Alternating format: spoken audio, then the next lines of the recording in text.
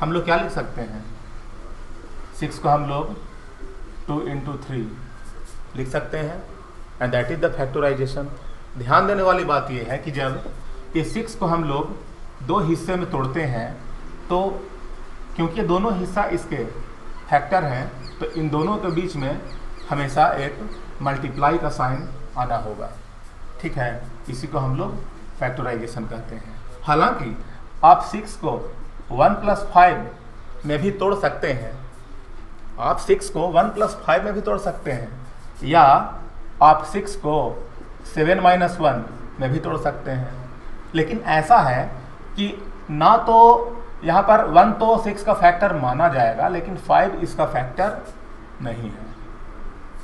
तो फैक्टराइजेशन में ध्यान देना कि बीच में हमेशा मल्टीप्लाई का ही टर्म इस्तेमाल हो तो बेहतर है। और प्लस और माइनस, ये साइन नहीं आने चाहिए, ठीक है? अदरवाइज़ ये फैक्टोराइज फॉर्म में है, ये फैक्टोराइज फॉर्म में नहीं है।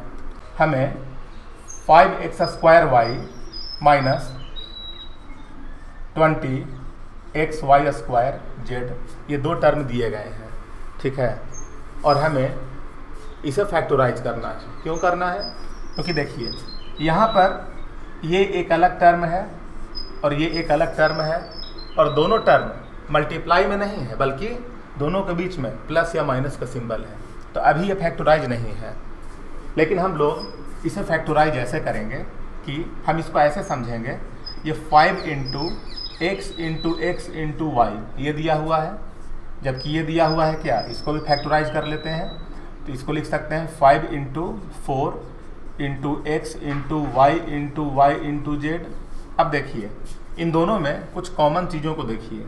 जैसे, ये फाइव और फाइव आपको दोनों में कॉमन नज़र आएँगे। यहाँ पे एक्स आपके दो हैं, यहाँ पे एक्स केवल एक ही है। तो हम ये कह सकते हैं कि चलो ठीक है, ये जो एक एक्स है, वो दोनों में कॉमन है।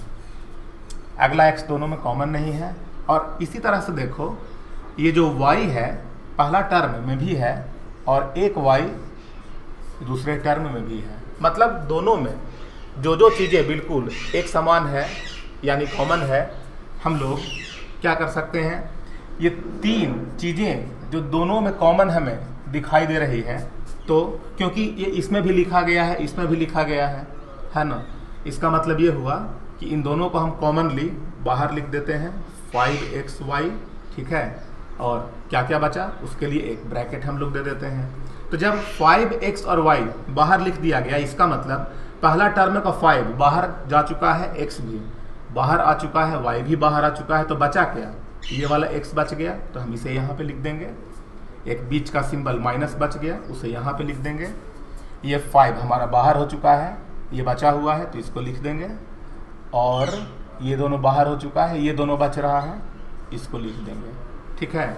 अब देखिए, अब यहाँ पे देखते हैं ये फाइव एक्स वाई और ये पूरा टर्म यानी समझिए five into x into y into x minus four y z जितने भी टर्म आपको यहाँ पे दिख रहे हैं, अब ये टोटल के टोटल टर्म मल्टीप्लाइड में है, इसलिए ये फैक्टोराइज फॉर्म है and this is the answer हमें इसको फैक्टोराइज करना है तो हम यहाँ पे देखते हैं कि जो दोनों नंबर्स जो दिए गए हैं minus two and minus five इन दोनों में कुछ भी कॉमन नहीं है।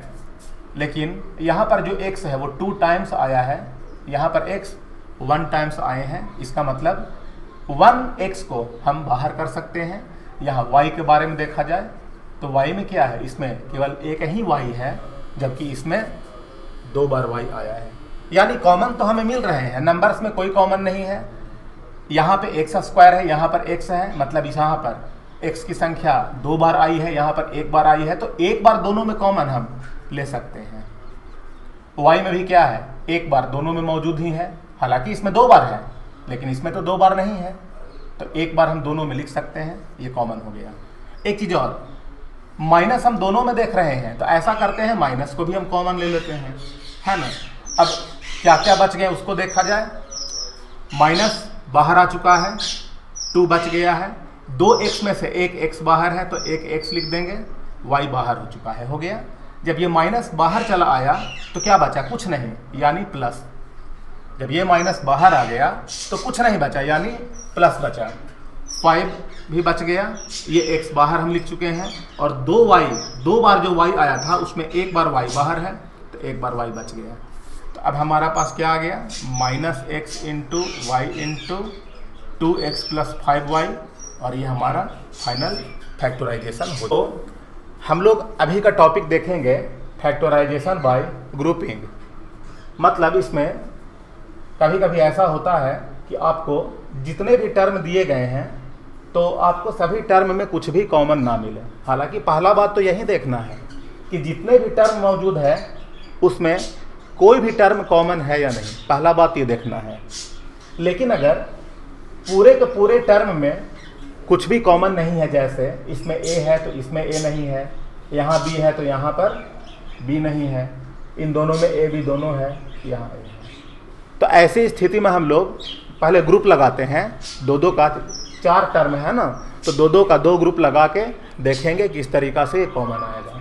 तो इसके लिए हम लोग ग्रुप कैसे लगा सकते हैं? मान लें, इन दोनों में कोई कॉमन नहीं है, लेकिन इसमें और इसमें तो ए कॉमन है तो जब ग्रुप हम लोग लगाएँगे तो लिखेंगे a square minus a b इसको एक साथ लिखेंगे। ये एक ग्रुप हो गया। अब देखो, ये बी है और ये माइनस ए है। तो बी और माइनस ए में हम लोग एक और ग्रुप बनाएँगे। ये प्लस हो गया, यहाँ पे बी आ गया और यहाँ पे माइनस ए आ गया। तो हमारे पास दो ग्रुप हैं। अब, इन दोनों ग्रुप में हम लोग अलग अलग कॉमन लेंगे। तो पहले इन दोनों ग्रुप में देखो। ए दो बार आया है और यहाँ पर ए एक बार आया है। तो चलो, एक बार जो ए है, वो तो दोनों में कॉमन है। इसको अगर बाहर निकाल लें तो यहाँ पर ए जो दो बार था, उसमें से एक बार ए बाहर आ गया है तो एक बार ए बच गया माइनस बच गया। ए के बाहर चले जाने के बाद यहाँ पे बी बच गया। प्लस यहाँ पे कुछ भी कॉमन नहीं है तो केवल बी माइनस ए लिख देते हैं। अब देखिए प्रॉब्लम क्या है। यहाँ पे हमारा टर्म ए माइनस बी है, जबकि यहाँ पे टर्म क्या है? बी माइनस ए अगर ये ए माइनस बी होता तो हम कहते हैं कि दोनों में ये कॉमन आ गया, लेकिन ऐसा नहीं है। मतलब हमें इसके साइन को उल्टा करना है। ए को माइनस से प्लस में लाना है, और बी को प्लस से माइनस में लाना है। तो यह करने के लिए हम लोग ये करेंगे। हम लोग मान लेंगे कि ये जो भी टर्म है, इसके अंदर से हम एक साइन माइनस को बाहर ला रहे हैं। तो जब माइनस को हम बाहर लाएँगे तो ये प्लस से क्या बन जाएगा? माइनस। और जो टर्म माइनस में था, वो प्लस में हो गया, और जो प्लस में था, वो माइनस में हो गया। इसको बोलते हैं माइनस को कॉमन लेना। अब हम देखें, दोनों में ए माइनस बी कॉमन हो गया। आप ए माइनस बी को इतना इंटू वन भी समझ सकते हैं। तो इन दोनों को जब पहला और दूसरा टर्म में ए माइनस बी दोनों में कॉमन है तो इसे बाहर निकाल दिया जाए। यानी ए माइनस बी को ब्रैकेट के साथ बाहर निकाल दिए। अब बचा क्या? इसमें ए माइनस बी के चले जाने के बाद क्या बचा? ए माइनस ये वाला माइनस इसके चले जाने के बाद क्या बचा? वन और ये हम का अगला जो केस है, वो बिल्कुल आइडेंटिटी बेस्ड होता है। जैसे कौन कौन सा आइडेंटिटी इसमें से प्रमुख हैं? तो पहला, अगर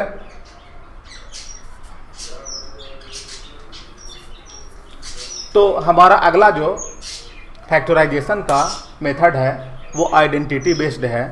तो आइडेंटिटी में हम लोग डायरेक्ट आइडेंटिटी का इस्तेमाल करेंगे, देखेंगे कि कौन सा टर्म का फार्मूला क्या होता है और डायरेक्ट उसी पर हम लोग सेट करेंगे। जैसे पहले आइडेंटिटी को देखा जाए।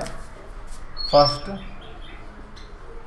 a square plus two a b plus b square इस फॉर्मेट में रहने पर इसका डायरेक्ट फैक्टराइजेशन होगा ए प्लस बी का होल स्क्वायर और अगर ये a square minus two a b plus b square पर रहा तो ए माइनस बी का होल स्क्वायर अगर ये a square minus b square के जैसा रहा तो इसका फैक्टराइजेशन होगा a plus b into a minus b और इसके बाद अगर ये इस फॉर्मेट पर रहा a cube plus b cube तो इसका फैक्टोराइजेशन होगा a plus b into a square minus a b plus b square अगर a cube minus b cube पर आधारित रहा तो इसका फैक्टोराइजेशन होगा a minus b into a square plus a b plus b square और इसके अलावा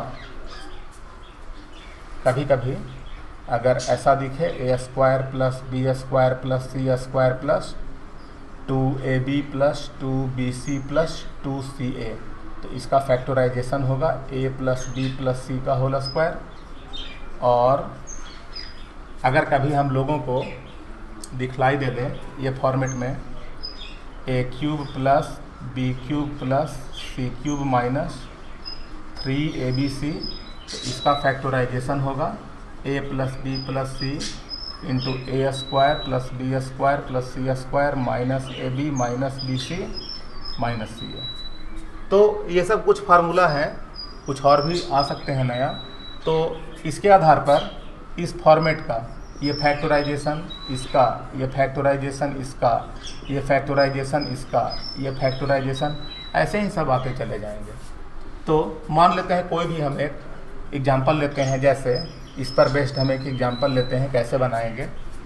एग्ज़ाम्पल है a cube minus b cube चलो ठीक है, सोचो, अगर एक जगह पर दो होता और बी के जगह पर थ्री वाई होता तो हमारा जो क्वेश्चन बनता, वो बनता क्या? टू का whole cube minus three y का होल क्यूब मतलब eight minus twenty seven y cube ये होता और हमें लिखा हुआ मिलता factorize eight minus twenty seven y cube. अब आपके सामने ये सभी चीज़ें नहीं होंगी। केवल यही क्वेश्चन होगा। तो आप इसको देखिए और खोजिए, ये किस फॉर्मेट पे बेस्ड है? क्या आपको लगता है कि ये फ़र्स्ट फार्मूला सेकेंड फार्मूला या थर्ड फार्मूला पे है नहीं? ये फोर में भी नहीं है, क्योंकि फोर में बीच में प्लस में है, और इसमें बीच में क्या है? माइनस यानी कि ये फाइव के फार्मूला पे है। इसको आप पहले फार्मूला के जैसा दिखलाइए। एट एट को आप ए क्यूब में क्या लिख सकते हैं? टू का होल क्यूब जबकि इसमें क्या लिख सकते हैं? थ्री वाई का होल क्यूब अब ये फॉर्मेट आ गया a cube minus b cube तो आप इस फार्मूला पे सेट कीजिए। पहले ए माइनस बी लिखिए, यानी टू माइनस थ्री वाई, उसके बाद अगला टर्म है ए स्क्वायर यानी टू का स्क्वायर जो कि फोर होता है। फिर प्लस ए बी इन दोनों को मल्टीप्लाई करें। तो टू इंटू थ्री यानी सिक्स वाई इसके बाद बी स्क्वायर यानी थ्री वाई का स्क्वायर तो आएगा क्या? नाइन वाई स्क्वायर हो गया? तो देखिए ये और ये दोनों टर्म के बीच में मल्टीप्लाई है, ये हमारा फैक्टराइजेशन हो गया। तो ये जो फैक्टराइजेशन का नियम है तो आपको सबसे पहले देखना होगा कि जो भी क्वेश्चन दिया गया है, वो किस फार्मूला पे बेस्ड है? कभी कभी होता क्या है कि आपको इसी क्वेश्चन में कुछ चेंजेज कर दिया जाएगा। जैसे, आप eight minus twenty seven y cube आप इसको आइडेंटिफाई कर रहे हैं। मान लीजिए किसी ने इसमें एक्स वाई से मल्टीप्लाई कर दिया। मान लीजिए किसी ने इसमें एक्स वाई से मल्टीप्लाई कर दिया। अब क्वेश्चन होगा eight x minus sorry eight x y minus twenty seven x y four अब केवल अगर आप इसको फार्मूला पे खोजते रहेंगे तो आपको ये फार्मूला में नज़र नहीं आएगा। इसके लिए आपको सबसे पहले इन दोनों में जितने भी कॉमन टर्म है, उसको बाहर निकालना होगा। तो इनमें बाहर निकालिएगा क्या? एक्स वाई को। अगर एक्स वाई को आप बाहर निकालिएगा तो आपका हो जाएगा eight minus twenty seven y का क्यूब अब देखिए। अब इसमें क्या है? ये आपका दोबारा आ गया, है ना? और जब दोबारा आ गया तो इसका फैक्टराइजेशन आपको पता है। और ये जो दोनों टर्म है, ये इसके साथ पहले से ही फैक्टराइज हो चुका है है ना? तो इसको फैक्टराइजेशन जैसे आप करते हैं, वैसे कीजिए। पूरा फैक्टराइज हो जाएगा। तो कोई भी फैक्टराइजेशन को अगर बनाना है है ना? तो पहला मेथड एक सिंपल आया। आप सभी टर्म में कॉमन चीज़ को खोजिए। कभी कभी आपको ग्रुप लगा के भी फैक्टराइज करना पड़ सकता है और कभी कभी आपको फार्मूला पे खोजना हो सकता है कि किस फार्मूला पे सेट है या कभी कभी ऐसा भी होगा कि उसी फार्मूला को थोड़ा कॉम्प्लिकेटेड फॉर्म में दे दिया जाएगा, है ना? तो आपको उसको सिंपल फॉर्म में ला करके तब फैक्टराइज बनाना है।